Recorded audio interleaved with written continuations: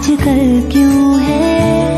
रास्ते हर दफ़ा सिर्फ़ तेरा पता। मुझसे पूछे भला क्यों